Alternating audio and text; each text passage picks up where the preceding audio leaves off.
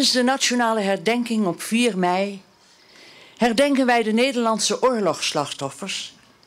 Tijdens alle, allen burgers en militairen die in het Koninkrijk der Nederlanden of waar ook ter wereld zijn omgekomen of vermoord sinds het uitbreken van de Tweede Wereldoorlog en daarna in oorlogssituaties en bij vredesoperaties.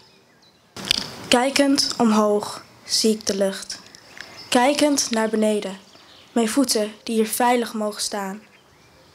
Kijkend om mij heen zie ik de mensen die stilstaan bij de vrijheid. Onze vrijheid, mijn vrijheid. Kijkend naar mezelf, kijkend naar binnenin, zie ik de dankbaarheid. Een hoest, het kan al je einde zijn. Het moest en het was klein.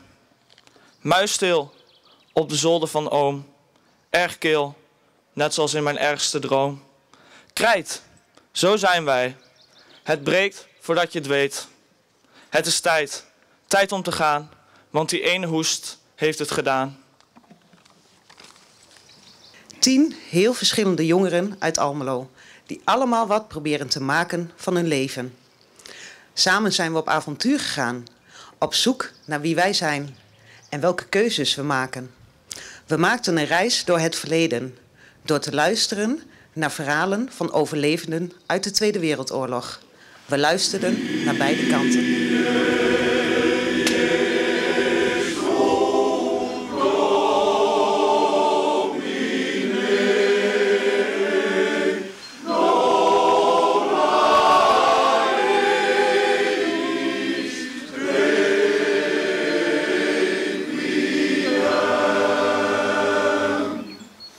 Er is bijna niemand meer die de oorlog zelf bewust heeft meegemaakt of er uit eigen ervaring over kan vertellen.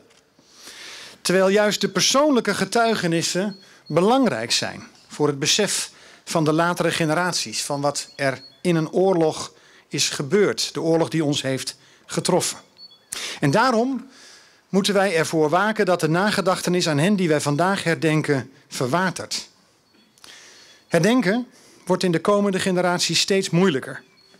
Maar wij hebben een plicht om de erfenis van al die slachtoffers van strijd, van verzet, van vervolging of van honger door te geven.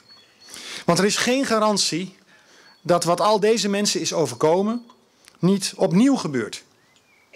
Tenzij wij erover blijven nadenken en de slachtoffers blijven herdenken. Dit jaar.